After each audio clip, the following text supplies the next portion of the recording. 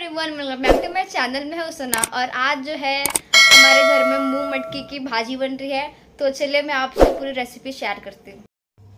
अभी हमने तेल डाल दिया है फ्राई पैन में, हमारा तेल गरम हो रहा है, हमने कटिंग में चॉप ग्रीन चिली ले लिया है चॉप्ड अनियन ले लिया है टमाटर चॉप्ड कर लिया है, और धनिया ले लिया ये हमने पोटैटो चॉप्ड कर लिया है। और ये रही हमारी मूंग मटकी की भाजी जो हमने भिगाने छोड़ दिया है। ओके, अब स्टार्ट करते हैं। अब हम मिर्ची डालेंगे, तेल हमारा गर्म हो गया है। दूर से डालिए क्योंकि वो उड़ता है। अब हम डालेंगे कांदा। अब इसको गोल्डन ब्राउन करेंगे अनियन को।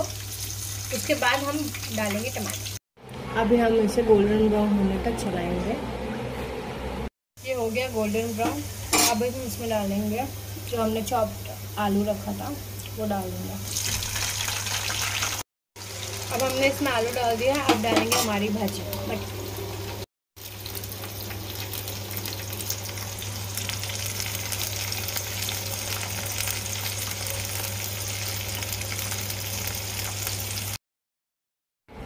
अभी हम इसमें दो चम्मच नमक डालेंगे।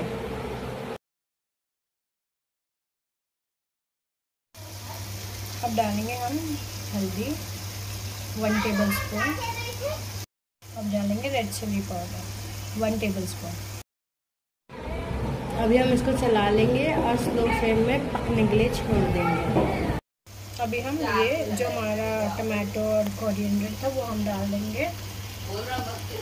फिर हम ढक के रख देंगे। दो मिनट के लिए। A few moments later. अभी हम देखेंगे, हमारा भाजी हो गया है ऑलमोस्ट अभी हम चला लेंगे।